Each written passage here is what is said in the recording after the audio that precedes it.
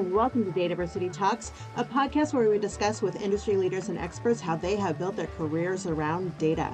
I'm your host, Shannon Kemp, and today we're talking to William McKnight, the president of McKnight Consulting Group.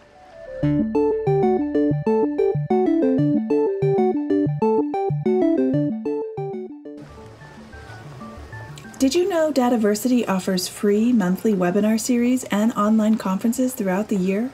Stay in the loop when you follow us on Twitter at Dataversity or on Instagram at Dataversity underscore edu. Get podcast extras and bonus content when you subscribe to our channel at youtube.com slash Dataversity. Hello and welcome. My name is Shannon Kemp, and I'm the Chief Digital Officer at Dataversity. And this is my career in data, a Dataversity Talks podcast dedicated to learning from those who have careers in data management to understand how they got there and to be talking with people who help make those careers a little bit easier. To keep up to date in the latest in data management education, go to dataversity.net forward slash subscribe. So today we are joined by William McKnight, the president of McKnight Consulting Group. And normally this is where a podcast host would read a short bio of the guest. But in this podcast, your bio is what we're here to talk about. William, hello and welcome.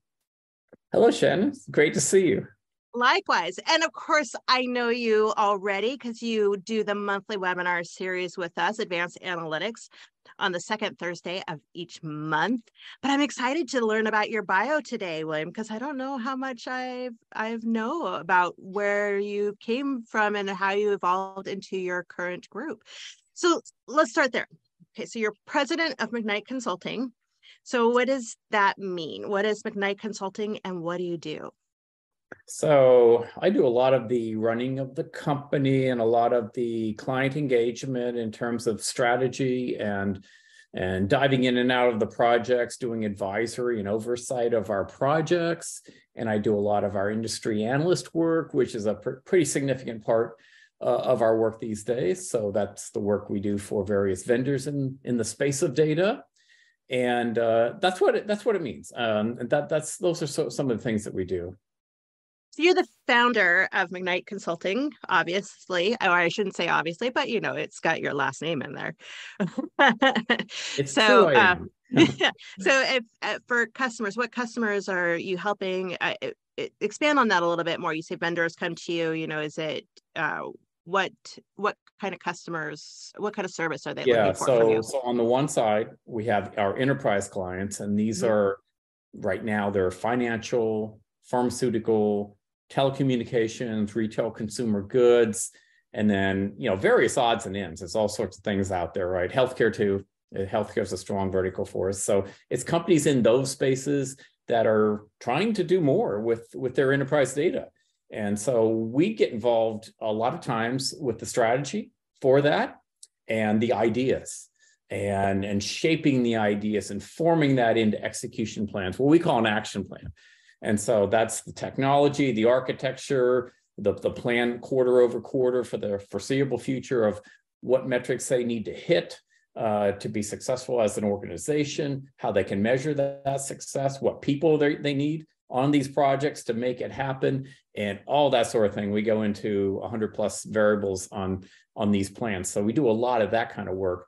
Uh, but the, on the other hand, uh, the vendors that have strong value proposition, again, to help our enterprise clients, you know, get get stuff done that they need to get done. Those companies, we help them as well with their messaging, with their internal architectures, with their competitive positioning, and so on. And to that end, we do some white papers. I do a lot of speaking on webinars, and uh, as they come back now, more in-person events, keynotes, and whatnot.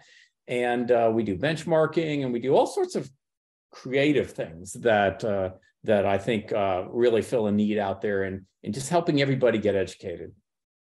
Nice. I like it a lot. So, so tell me, William, when you were very young, just in elementary school, as we say here in the U.S., uh, was it? Did you dream of of starting your own consulting company? Like, I'm going to start a consulting company in data. Oh yeah, of course. No, no. no at, I mean, at some point, I think I'm I'm still growing up, so I don't know when when that all happens, but um, no, definitely not. Back then, it was it was I wanted to be like my heroes, a baseball player or professional wrestler or uh, you know something like that. Um, but uh, that eventually morphed into what I do now, and I really enjoy what I do now. And so, yes, at some point in the in the long term past, I, I did start to to bend this way with my career, and I'm I'm so thankful for it. Every day is a little different. Of course, this industry is very dynamic. It keeps changing. It keeps keeps becoming more and more relevant to the enterprise. You know, and enterprises keep pushing the envelope, and it's, it's just fun to be a part of that and maybe lead it in some small ways. And and so I, I am so so happy that I'm here. But no, as a child, I did I wasn't looking at it that way. well tell me a little bit about that journey so you know as you're going through as you're growing up and going through different studies you know what did you what did you start learning and and you know where was your first job and career? How did you get going? So computers really came aboard when i was in high school.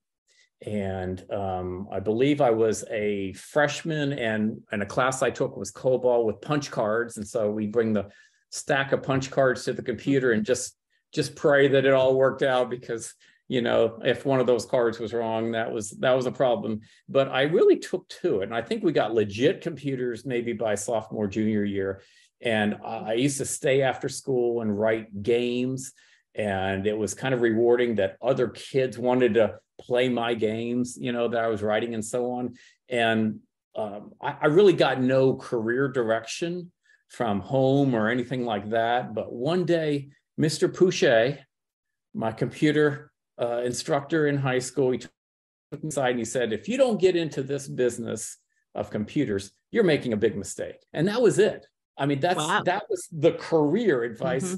that I got all growing up. And so with that, I thought, well, okay, that sounds good. I enjoy it. So I went on to get a BS in computer science.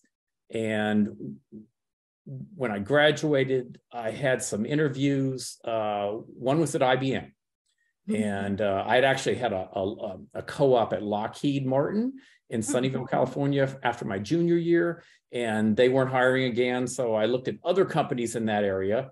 I mean, I went to school in Tennessee, so you know, I'm I'm looking across the country there. But IBM was one of them, and uh, I interviewed with four different hiring managers that day and they all wanted me at the end of the day. The HR manager said, okay, you know, you got your pick here. What do you want? And, I, and I remember one of them was CICS, one of them was DB2, and I don't even remember the other two. I, I, don't think they were products that had much legs to them.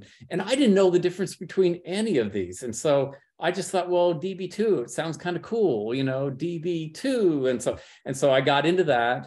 Mm-hmm. And uh, of course, that was an early, strong database uh, in the market. And so one thing led to another from there. I just stayed with databases and the evolution of databases into data warehousing and data science and all the things that we do now. So I just kind of stayed with it from that point on in my career. Wow, that's amazing. So, so you started at IBM. Yeah. And then where did you go from there? Where, how did you get in? How did that evolve into your consulting business? So um, some of the listeners may remember a company that I joined after IBM, which was Platinum Technology, and they were a big high flyer back in the day. Uh, and it was it was it was fun and exciting to be a part of that early the early journey with them. They put me on the road traveling week in and week out, three to five days a week. As a 25 year old, I was I was out there with a lot of responsibility, going to enterprises and teaching them DBA, system administration, uh, SQL, design, programming, and so on. And I was honestly, I was learning on the fly, uh, but I pulled it off and did that for a few years. And then the, I kind of burned out a little bit on the travel. That's when I got into my first contract uh, position. Uh, my Platinum had a consulting arm to it. So I, I observed that when I was there, and that, it was intriguing. So I took a contract, and then uh, eventually a second or third contract. I ended up at Visa. And of course, they have a lot of data. And this was the early days of data warehousing. Bill Inmon had just put out his seminal book on the on the subject, which I got, and I tried to apply. You know, maybe mm-hmm. doing it the wrong way. You know, technology first, right? But um, we built a data warehouse. It was an early successful data warehouse there at Visa, and I was the director uh, of data management. And that was on Informix, in case anybody remembers that. That was one of the early MPP data, mm-hmm. data databases. And so uh, from there, I went on to Anthem uh, Insurance Companies, where I was the VP of IT. That was in Indianapolis. Uh, the CIO there that I reported to, she just made life miserable for for everybody that reported to her. So I just uh, I got out of that situation and uh, moved back to the Bay Area, and I took a, another contract. Uh, but that that I st- that time I stuck with it. I didn't hire on like I did at Visa. I stuck with it and went from contract to contract, and that was the beginning of McKnight Associates. And one of the key things there in my career was uh, I went to TDWI, which we all know that was the Data Warehousing Institute back in the day. They had a lot of data warehousing kind of training. I went to an ROI class. Well, by then I had my MBA and I had some thoughts around this uh, from my experiences and so on. And, and frankly, the class was not that good. And so I went to TDW and I said, I don't know what you're paying that guy, but I can do a whole lot better job than than he can uh, on that class. And so that began my my my uh, series with TDWI, where I've taught now over a hundred times. And ROI was one of the big classes that I that I've taught so many times for them over the years. And so I ran McKnight Associates for seven years. And obviously, at that point, I was into consulting. I love that. and I love that uh, piece of confidence that you had to say, I can do this better. I can, I can do this. I can let me do this. And that's, that's amazing. I love that, that initiative uh, that you took to, to get that job, to get that, uh, to win that. I think that's a really key skill there. Um, and backing up just a little bit, uh, totally off topic, but I have to go on to this tangent here. Uh, so you talked about how uh, when you were very young, you wanted to be, your heroes were athletes. Yes. So, and I know, and I'm looking at a row of medals behind you. yes. so I know you're still very athletic. You want to tell us a little bit about that as well?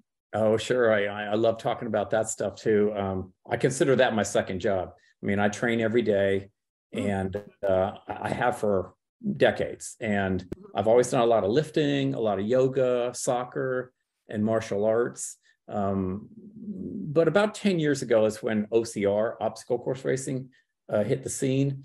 And I started doing that just on a lark. And I got kind of got addicted to it and kept kept wanting to do better and better. And about seven years ago, Spartan introduced their competitive uh, waves. So I joined that and I've done a bunch of Spartans and a bunch of other kinds of OCR concepts. So I'm, I'm usually on or at least threatening the podium for my age group. And so, uh, you know, it, it, it, takes a lot to stay stay at that level with it. Um, and there's one in particular, one concept in particular that's come to America in the past few years, and that's called HYROX. And that's a combination, HY is for hybrid. So it's a combination of strength, and skill and and and endurance. And so I've been doing I've done I've done that one a few times. Um, and I'm actually the national uh, champion at it for my age group uh, in North America. And so um, that's two years two years running on that one. And uh, uh I'm doing I'm, I'm I'm still I'm still trying to figure myself out athletically because I like so many different things. And so it's hard to hard to dedicate, but uh, I've done a little dedication to OCR and it's paid off. And uh, I continue to do HIIT training, lifting, yoga, soccer, martial arts, you name it on a weekly basis. So uh, that's that's what I do when I'm done when I'm done with work. that's amazing. So that's a lot of discipline and uh, to to do that and dedication. That's that's awesome. Do you find there's any crossover in your data work with your athletic work? Do you, those principles or? Well, I think uh, the uh, the dedication. Uh, I have that same dedication to my clients. I mean, it's it's even stronger uh, to make sure that they succeed. So you know, uh, the commitment that I give to this is the commitment that I give to the things, the few things that are important to me. And my clients are clearly that as well. I can't cook I can't repair around the house. I, I, I can't do any of that stuff, mm-hmm. but I can do these athletics and I can I can do data. So I, I pretty much stay committed to the things that I'm I'm good at like that. I like that. That that's great. We can't be all good at everything, right? So no, the focus. No, definitely yeah. not. Yeah. With a robust catalog of courses offered on demand and industry leading live online sessions throughout the year, the Dataversity Training Center is your launchpad for career success.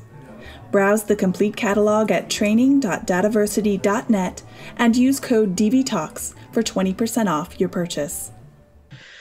So tell me, William, um, what is your having worked in data for so long, what's your definition of data and how do you work with it? Well, data is everywhere. It's a renewable resource and uh, it keeps uh, generating inside of these enterprises. And it has a lot of potential. And it has more potential than anybody's realizing with it.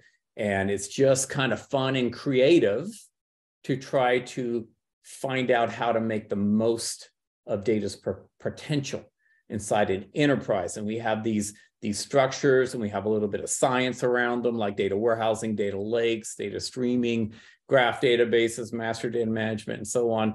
And it's like a big old puzzle. And I really enjoy the creative aspects of this.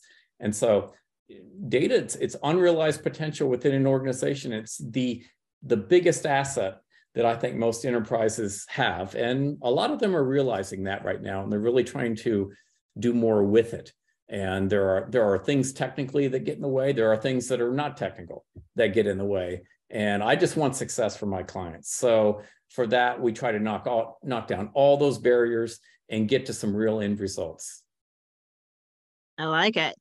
And do you see the importance of data management and the number of jobs working with data increasing or decreasing over the next 10 years and and why? Well i've been uh, pretty pretty vocal about uh, that I think jobs um, are going to undergo quite a bit of change with artificial intelligence over the next decade. And I don't think data jobs are immune from that. Um, but I think they're fairly resilient as they go. I'm not sure about growth, but I think in terms of relative growth and relative stability and importance, yes, I think it's definitely there because data is the foundation for artificial intelligence, which is the next big wave for these enterprises. And uh, still, people have to have to do things for that data. Uh, we have to build structure. We have to get the data in the right structure, make it all work together properly, apply data quality, data governance, and so on. And uh, it's actually very confusing out there for the enterprise today in terms of what to do. I don't envy them. Uh, so it's nice being a third party that can can weigh in on on the decisions that they make uh, and help them move forward because it's it's complex now, and from where I where I sit, I think it's going to get more complicated for them before it gets less complicated. So if anybody's out there waiting for you know the the the the waters to part and you know everything to be kind of smooth sailing in terms of decision making around data I don't think it's going to happen. I think we have to work with in this morass of all the possibilities uh, for the rest of our careers. I like it. Um, and what advice would you give to people looking to get into a career in data management? Would you recommend that they get into AI or in the data prep side of it or all of the above or and how do they go to learn and prepare for something like that? Yeah, I think you hit on a couple of the uh, important areas that I would direct people into. And that's one is support for AI. And how mm-hmm. do you mm-hmm. get data into the right place so that it can be utilized by AI? Because historically, we as data management prof- professionals have been a little bit removed from all that. You know, what they're doing over there with the data, that's their job, you know, not my job. But I, I think that with AI, you have, in order for that all to be successful, you have to be you have to know more as a data management professional. And you got to bring more to the table and there has to be overlap with the data scientists. Um, and so i would definitely say ai data prep yeah data integration streaming data high volume big data that sort of thing. Yes uh, definitely knowing how to deal with petabytes of data within an enterprise within an application you know mm-hmm. that's really important uh, to an enterprise. That will that will lock things down for you, I think, for for quite some time. If somebody's looking to get into that, is there a skill set that they really need, or some more than others?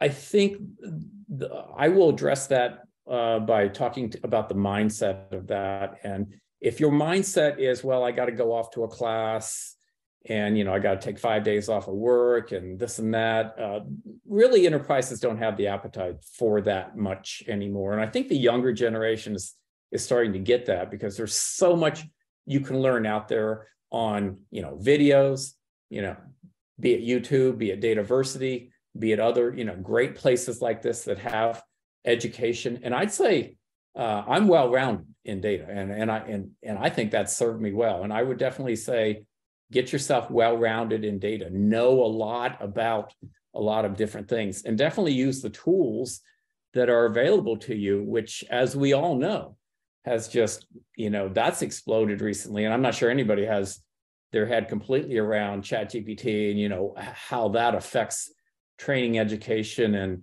you know how how you organize your own resources and your own knowledge base but you know de- definitely you want to consider that as well as you go forward and and make it a daily a daily practice. So i go mm-hmm. throughout my busy day. I'll come across an article a video something on Dataversity, of course where i'm visiting daily. And you know i'm finding things. I want to know more about that.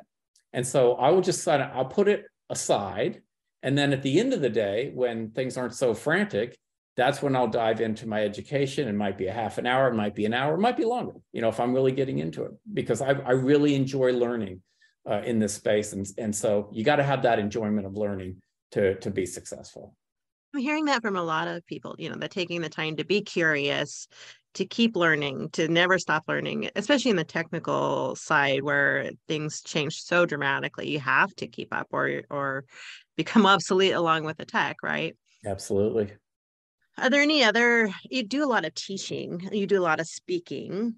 Now, that's not for everyone per se. Um, and not all data people need to be able to give an hour presentation or give a class. But right. is there any other soft skills that data people, uh, people in data need? Data architects, modelers, data scientists that uh, that go with those technical skills?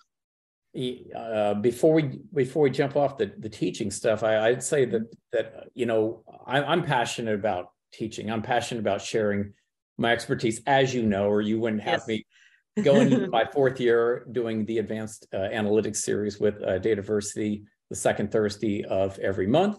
Um, but uh, I think one thing that that does for me is it, it forces me to kind of mobilize my thoughts and organize my thoughts so they come across coherently you know in that hour. And that's true for all the webinars that i give and all the keynotes and other talks i give. So don't discount that even even if you're uh, more on the shy side. I i, I definitely am. Uh, but you know when it comes to to speaking i just have to overcome that and and and give it my all because uh, you know i really want people to to walk away going yeah i learned something there. That was good. That was worth my time. Because a lot of uh, the sessions that I sit in on are not that good. And I don't want to be that. I, I put a lot into whatever I deliver. And but so much for me. But I think the question was more, you know, soft skills. Um, how about getting along with with others and and and negotiating and delegating and and making sure things get done? I think that's one of the hallmarks that I put out there from my company, which is we get things done. We don't just mm-hmm. talk about it, but we'll get it done no matter what the hurdles are. I tell people going into the project, there might be this or that hurdle. Knowing that going in means you start to take care of it day one, but it still might be there. But we're going to get past it. We're going to get over it. And there are different ways of doing that. And here's what they are. So, you know, let's go in with with a clear mind. We're not going to get blindsided. Um, and and and so you know knowing how to really get things done not just talk about it but that's an important uh, soft skill. Uh, I like it. So defining the end goal and understanding that it's not necessarily going to be easy, but it is possible, and it here's where it's going to lead you. That's right. Start with the end in mind. Yeah, yeah. Oh well, I love it. So William, if somebody were to solicit your business, how would they find you? McKnightCG.com. Mm-hmm. That stands for Consulting Group uh, is the best way. You can learn about our services there. You can see some of our research and uh, things like that there. I like it. Anything else you want to add that any more words of wisdom for those out there looking to get into a career in data?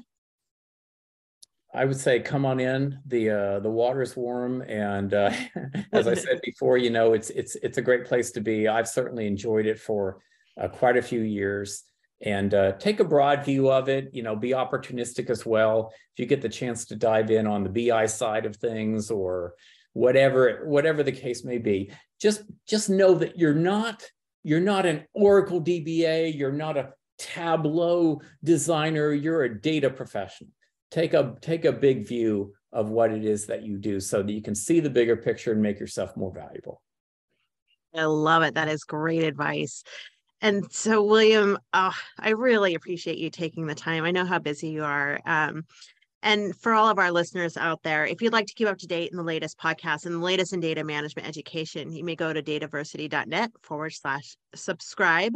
Until next time. Thank you for listening to Dataversity Talks brought to you by Dataversity. Subscribe to our newsletter for podcast updates and information about our free educational articles, blogs, and webinars at dataversity.net forward slash subscribe.